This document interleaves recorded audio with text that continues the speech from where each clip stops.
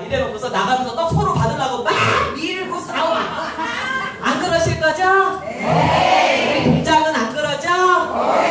동작 이수사회복지관이 솔선수범해서 긍정적으로 행동하실 거죠? 우리 어르신들은 그런 리더가 제대로 해주셔야 돼요. 그래야 우리 이 지역이 더 발전할 것 같아요. 맞죠?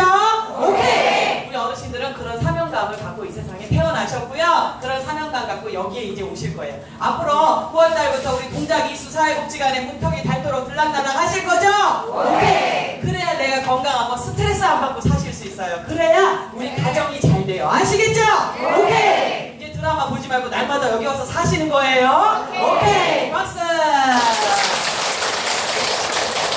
자, 이제 조사리한 거시기 잊지 마셨으면 좋겠고요. 자, 이제 제가 또 하나 예, 알려드릴게요. 아까 거울의 법칙. 이게 뭐냐면, 네, 내가 웃어야 다른 사람도 웃는다는 거예요.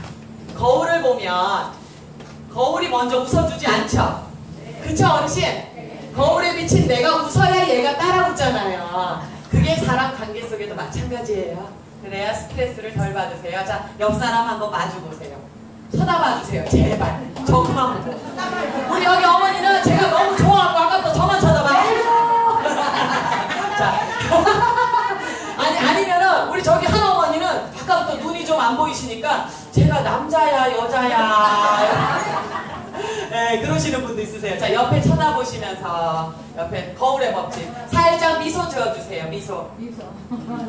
그 다음에 그리고 그리고 얘기해 주세요. 건강하세요. 우리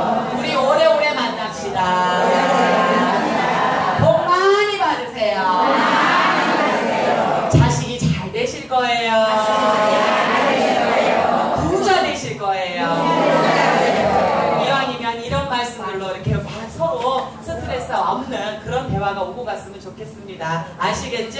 오케이. 그런 의미에서 제가 우리가 말을 뱉으면 어떤 말이 돌아오나 또 우리가 왜 가는 말이 와야 오는 말이 없다는 말 있잖아요. 어르신들께 우리나라 옛날부터 내려오는 추임새 같이 한번 해보실 거예요. 얼마나 잘하시나 제가 얼씨구 하는 어르신을 뭐라 그러셔야 돼요?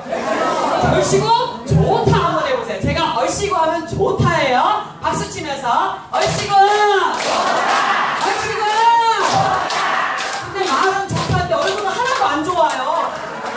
얼씨구 하니까 좋다. 아니 그거 말고 혼나라 이걸로 얼씨구 얼씨구 이방인은 몸도 못 움직이면서 얼씨구 얼씨구 좋냐 좋냐 벌써 아 제가 반말을 했는데 뭐가 좋아요 아니 제가 얼씨구 절씨구 하다 갑자기 좋냐 그러는데도 우리 어머니들이 아무 생각이 없어 좋다 이게 우리나라예요 그쵸? 반말한 게 아니죠. 흥, 흥이 난 거예요. 이렇게 흥이 나는데 그 와중에 너 왜 나한테 반말이야! 이러지 않으시잖아요. 그렇게 사셔야 돼요. 그렇게 살자고요 우리. 옛날에는요 우리 민족들이 흥이 많아서 오십견도 없었다니까요.